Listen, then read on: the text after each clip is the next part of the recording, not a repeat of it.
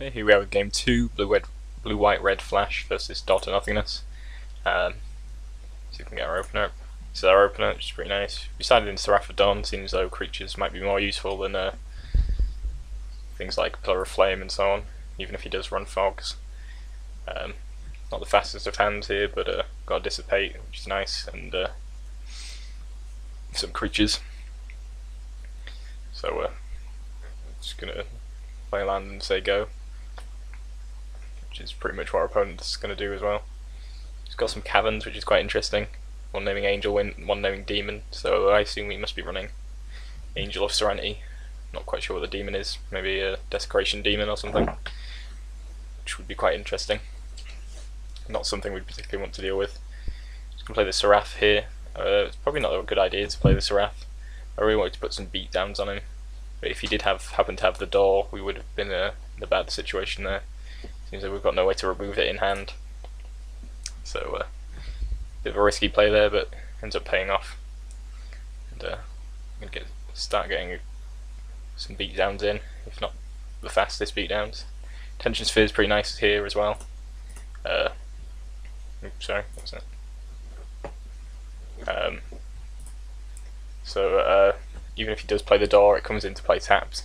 If hasn't played a Temporal Mastery, we can actually uh, exile it before uh, manages to set it off.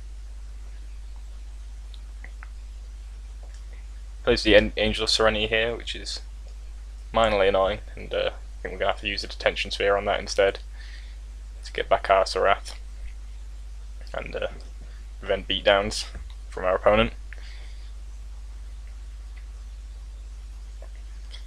Just going to play Think Twice here, still going to leave up Dissipate just in case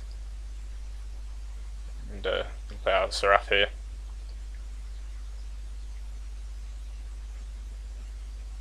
And it goes for a Sphinx's Revelation for 3. Uh, I don't know why he didn't tap all his lands, but uh, decided to let that go. It is annoying, but ultimately, if at this stage it looks like he's going to try and win by using Door to Nothingness, so I might as well just keep my counters for that. I feel. Ranger's Path, there's nothing to really be concerned about. Although clearly he's got enough mana to uh, go off with Door if he uh, happens to play it. But draw a few more cards and uh, find another counter spell in the form of Rewind, which is very nice. We're going to have to discard here, but we don't really need Supreme Verdict. That's probably another card that we should have sided out actually. Probably better than uh, siding out Pillars, seeing as though he's got Fogs. So, uh, tap for 2 here, putting him down to 11 now. We're all the way up at 32, which is uh, quite ridiculous. There's another Chromatic Lantern. Now I'm just going to play out the Angel so we can keep on uh, beam down just that bit faster. There's a fog there, but it's not really a big deal. Still not doing a whole lot. Though Alchemist Refuge does mean that we uh, should be cautious on our turn. Let's play an increasing ambition there makes you think that he's probably only got one door in his whole deck, which is kind of interesting. Definitely didn't want him to find whatever he was looking for, and uh, I think Dissipate was the best way to deal with that, as it does have flashback, so... Uh, what was that? Goes for Temporal Mastery, and we're going to rewind that, and tapping our lands, and uh, keeping these two Snapcasters in hand is. Uh, that they provide additional counter spells if we need them, which we might well do. There's another fog there, but he's running low on cards in hand. Draw a card here. Managed to find Negate, which is awesome for us. It's another counter spell. So uh, basically got three counter spells in hand now. Opponent goes for a Sphinx's Revelation for seven.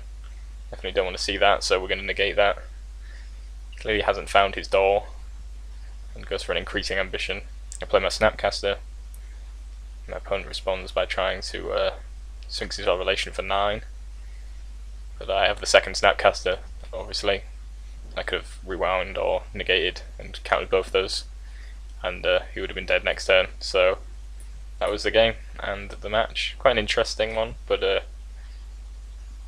I think you really need to be running Thragtusk in this kind of deck or some sort of aggressive threat that uh, draws away counter spells and so on. Otherwise, your opponent's just going to be sitting on their counter spells and waiting for you to uh, either play the door or mess up in some way. So, uh, I don't know. Not doesn't seem like a great matchup for uh, the door decks, the blue, white, red flash, and uh, managed to put it away this time. So uh, that was the match.